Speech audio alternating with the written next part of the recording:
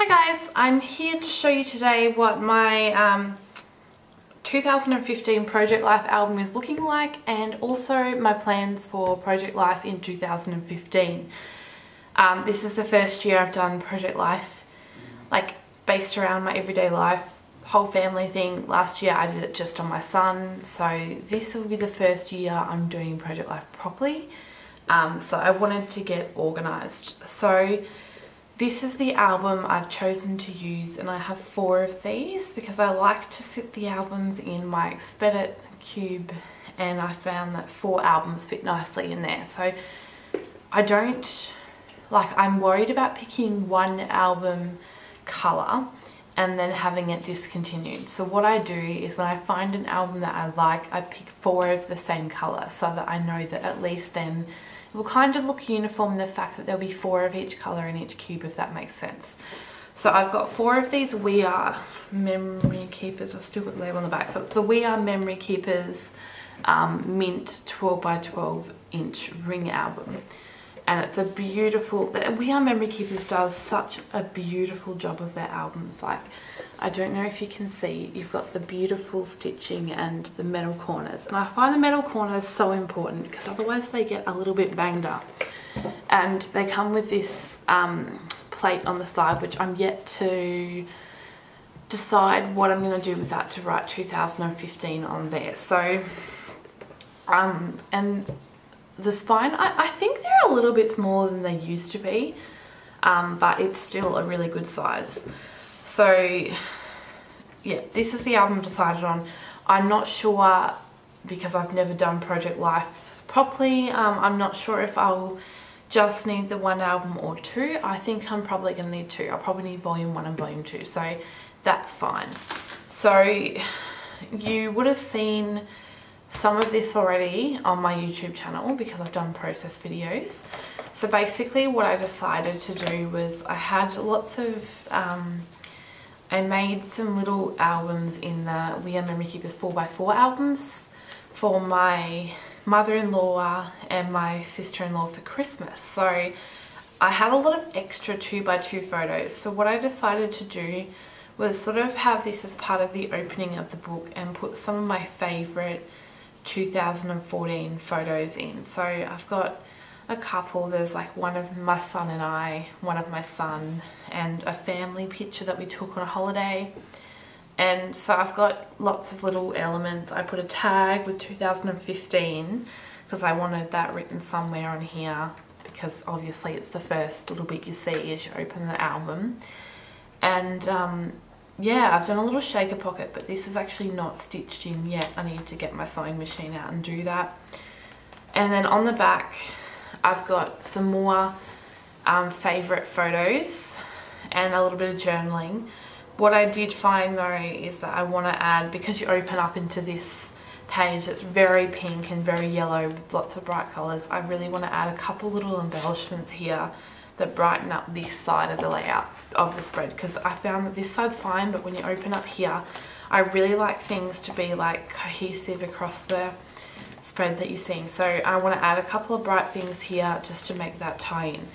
So the plan was that that was my mini introduction page and then what I've got here is basically I love this card it's a Heidi Swapp one and it turns around. Um, so basically this is like another opening page which had you know, some of my favorite things at the moment, my goals, um, my favorite music at the moment.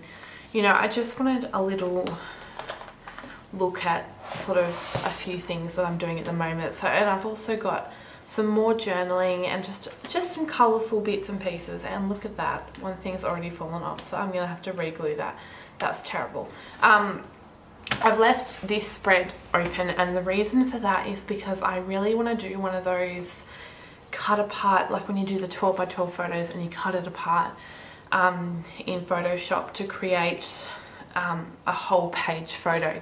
I really want to do a family photo here so that's why I've purposely left this blank for now until I find, or my sister's a photographer so I might get her to take a nice one that I can put there which will sort of be our family photo for 2015. So that's why that's blank. And then this you would have seen in a process video. This is my week one spread which I have chosen this year to do, I did a little bit of research on what everyone else does with their project life. And I've decided to go from Monday to Sunday with my project life. So because of this, the week one sort of had that extra few days before the Monday. So I've included all of that into week one, if that makes sense. So I did have quite a few photos. So I added this snap or Simple Stories snap um, 3x4 pocket, which you can fit eight 3x4s in. So that was very handy and that's, I mean, the first, the first one here is also a Simple Stories snap. So they, they do fit into these albums because the rings you just put in the bottom two or the top two if you want them at the top. So that's very handy to know because I can add some I mean, what I what I am doing this year is sticking with design A for my basic week spread.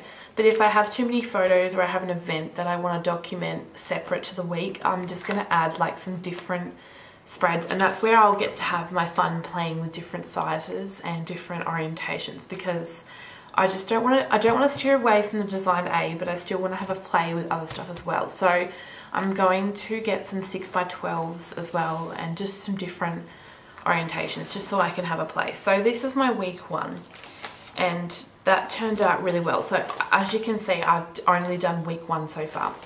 Um, I do have week two and three printed yesterday, so I'll get onto that.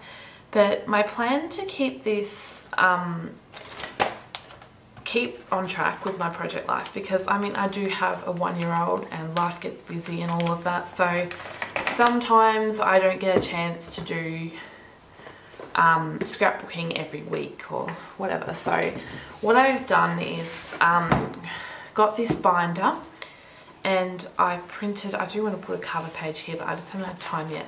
So these are, um, I'm not sure if you can see that really well. I'll just zoom in a little bit. Um, so these are from www.zoepearndesigns.com.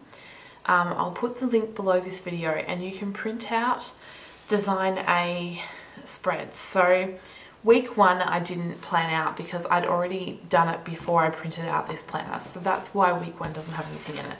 But this is an example. What I did was I was printing uh, I find this really handy because when week two and three, when I went to organize the photos for printing, what I do is I get out this planner and I can work out what photos, I look at the photos that I've got from the week and I can plan out where I want to put them so that way I know what size I need to print the photos, if that makes sense. And I, I can also work out if I've got too many photos per spread and whether I need another insert. So this helps me plan out my photos for printing really easily and I can work out how many cards, how many filler cards, journaling cards and everything that I need. So I found this really, really helpful. So for week two, I've got this all planned out. These photos are printed and I've got in the notes at the bottom Elijah's Cake Smash separate insert because my son had his Cake Smash photo shoot.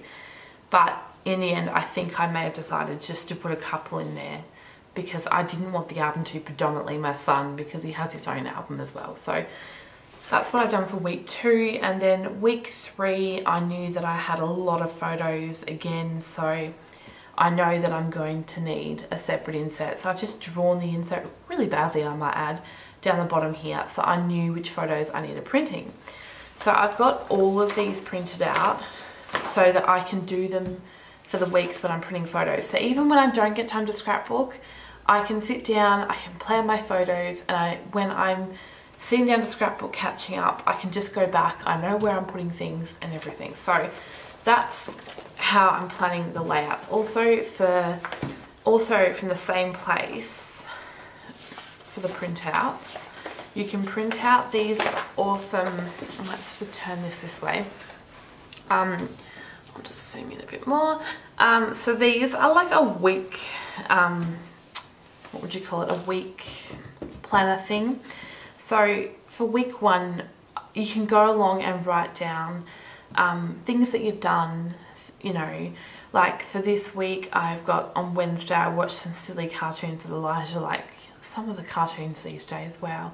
Um, I had a big house clean out, I took down the Christmas tree, Elijah learnt to climb the slide, um, we played Yahtzee with my partner's family, you know, um, I made a red velvet cake. There's just all sorts of things in here that I would forget if they weren't written down. Um, up the top here, I've also worked out for the entire year what the dates are for each week. So for week one, it was the 5th of January to the 11th of January if you're working Monday to Sunday, but these first four days would have been missed. So I included those in my week one, which was the 1st to the 4th of January. So then we've got week two. So like again, I've written the, oops, I've written the dates. So I've got the 12th of January to the 18th of January, week two. And so I've written things down like Elijah had his cake smash photo shoot. Um, Elijah learned how to climb on the lounge. um, you know, um, Elijah woke up at four o'clock in the morning. That was a horrible, horrible day. Um, we went out grocery shopping. Adam and Elijah wore matching Converse shoes for the first time. There was a big storm. You know, there's just lots of things in here. And I mean, if I keep this beside my computer of a night, I can just write down things from the day. So, um, you know, we had pizza, Elijah practiced walking, got in the cross train, did one kilometre and felt like I was dying. Started reading the Divergent series. You know, there's things that I wouldn't necessarily have photos of, but if I've written them down, I could probably pull a photo off the internet of the Divergent book and write a little bit of notes about how I'm reading that at the moment because um, I'm doing a lot of reading this year and I'm following a book club. So I wanted to document my journey with that. So I've, you know, got a few things and I've gone down, I've written all the dates for the year. So I think I'm going to find this tool very helpful to keep me organised this year and keep me on track. So that's what I'm doing for 2015 and I'm going to share all my process videos hopefully on the on my YouTube channel so I hope you're going to enjoy them and I hope you like a look like to look at my project life plans so thank you so much for watching. Bye